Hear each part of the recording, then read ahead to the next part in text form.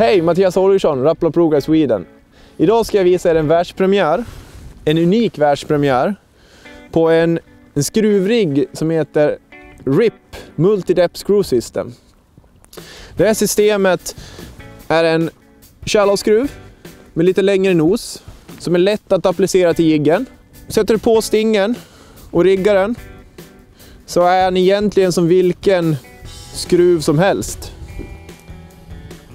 Det andra unika är att du kan applicera en blyvikt väldigt lätt. Då har du fått ett bete som har 15 gram skalle, kan fiskas djupare.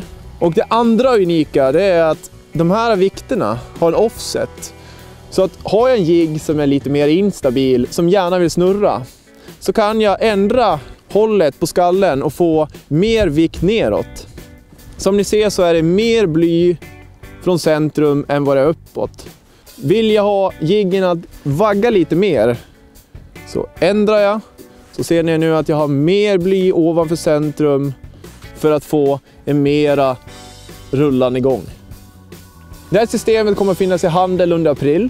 Det kommer ut i två versioner, Heavy och Light. Lighten är gjord för lite mindre gummin. Heavyn är för normalgummin från 18 cm och uppåt.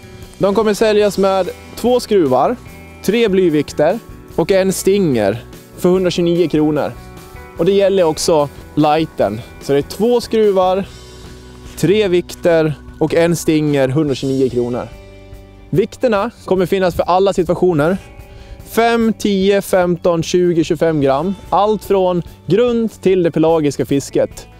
Jag vill påstå att det här riggsystemet är det enda du behöver för ett lyckat fiske, grunt som djupt fiske. Med det här viktsystemet får du fyra olika möjligheter att få fyra olika rörelsemönster på din jigg.